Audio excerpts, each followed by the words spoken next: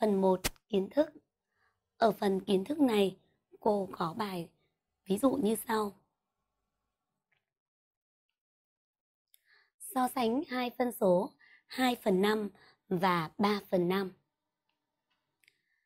Để so sánh hai phân số này, cô sẽ mời các con cùng nhìn đoạn thẳng AB của cô.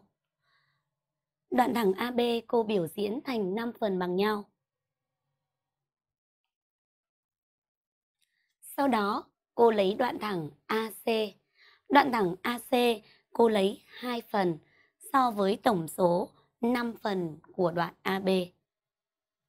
Như vậy, đoạn AC sẽ bằng 2 phần 5 độ dài đoạn thẳng AB. Đây chính là đoạn AC. Đoạn AC của chúng mình bằng 2 phần 5 tổng độ dài của đoạn thẳng AB. Như vậy, cô chia đoạn AB thành 5 phần. Cô lấy 2 phần, chính là đoạn AC. Đoạn AC của cô bằng 2 phần 5 đoạn thẳng AB. Tiếp tục, cô lấy đoạn thẳng AD dài bằng 3 phần 5 độ dài đoạn thẳng AB. Đoạn AD bằng 3 phần 5 độ dài đoạn thẳng AB. Như vậy, đoạn AD cô lấy 3 phần trên tổng số 5 phần.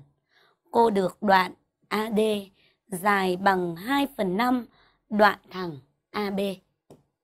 Nhìn vào sơ đồ, các con sẽ dễ dàng nhận thấy đoạn AC ngắn hơn đoạn AD. Như vậy ta nói rằng 2 phần 5 so với 3 phần 5 thì 2 phần 5 nhỏ hơn 3 phần 5. Các con cùng quan sát. Như vậy các con đều thấy 2 phần 5 nhỏ hơn 3 phần 5